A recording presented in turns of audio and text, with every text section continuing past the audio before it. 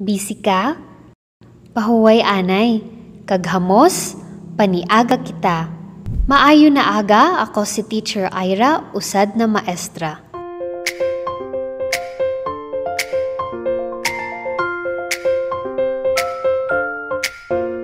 Naeksperyensyahan mo na ba ang pamatsyag?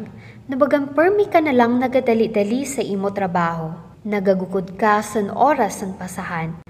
Kag san iba pa ng mga obligasyon mo sa uro adlaw.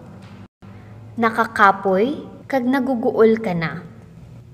Nagagahol ka dili man kay nagpaluya-luya ka, kundi kay tungod.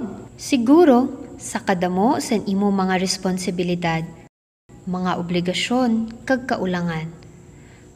Kung kita nasa kasagsagan sa ninang mga sitwasyon, hatagan naton san pahuway an aton sa diri. Ang pagpahuway makabulig sa aton agud mabawasan o maiwasan ang ginatawag na stress.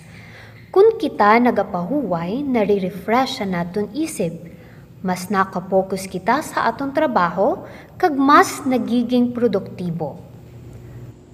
Isad sa mga klase sa pagpahuway ang ginatawag na emotional rest. Ini amo ang pag-offload sa aton mga nababatsagan. Kanino kita pwede magpalabas sa aton mga nababatsagan? Pwede kita mag-share sa aton kapamilya, sa aton amigo, mga katrabaho, katiwala, kag syempre sa aton Ginoo. Kay istoryahon naton ang Ginoo sa paagi san pangadji.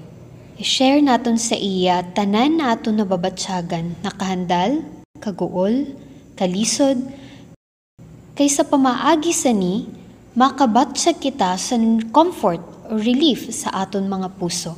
Makahugot san kusog para magpadayon, kag magiging mas malinaw an aton kaisipon.